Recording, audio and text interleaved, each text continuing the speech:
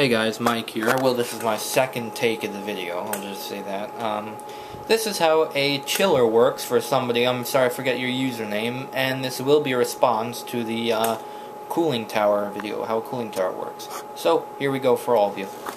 This is how a chiller system works.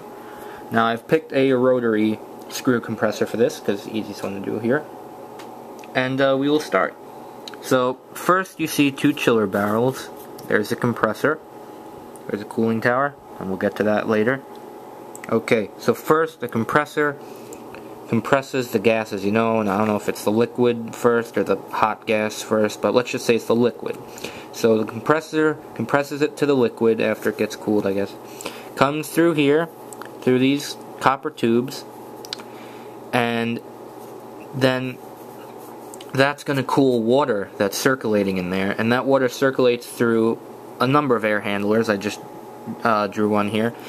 And the air handler sucks in the hot air from the room and the humid air.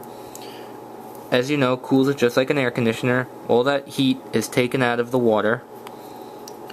Now, I don't know what chilled units, do they add humidity or, or not? not? That's something I'm not sure of yet. But let's leave the humidity out of it. Um, we'll, we'll just say it's taking the heat out of the air because these are water chilled units, not refrigerant coils, and they have water cooled, so that's what I'm not sure about. But uh, I'm sure one of you HVAC techs will tell me. But uh, yes, anyway, the um, the water comes through, the heat's taken out of the air, gets into the water, water comes through, and now this is all the water just flows around these pipes here, these uh, the refrigerant lines, and um, the um, the heat from the water is then absorbed into the refrigerant, compresses into the high side here, the um, the hot gas. Then it goes into the second barrel with water, and then that heat is taken out of the water over a cooling tower here. Now there's always a pump here and there to circulate the water around. I didn't, I didn't draw that though. So then the water is taken here. It's cooled down by the cooling tower, as I've drawn before, or a lake if you're by one, if a building is by one, they'll use the lake to uh, cool the um, water.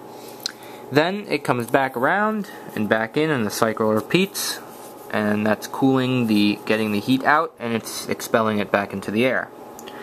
That is the water-cooled chiller. Here we have an air-cooled chiller. As you can see, your compressor is right there. Let me get a pencil because uh, my finger's a bit fat here. Alright, so there's compressor. There's your chiller barrel. And there's only one chiller barrel because remember the hot gas in this is in a coil here, so it's fan cooled, and the um, the liquid line just goes to the chiller barrel, and the um, the water is cooled that way. So that's how an air cooled chiller works when you don't have, I guess, room for water cooled ones or your, your reasons for that. But uh, yeah, that's um, that's pretty much how a uh, chiller works. The uh, just not sure with the water cooled air handlers, do they take humidity out of the air too? Because I know they're water cooled. But uh, yeah, okay. Uh, thank you for watching, and Mike out.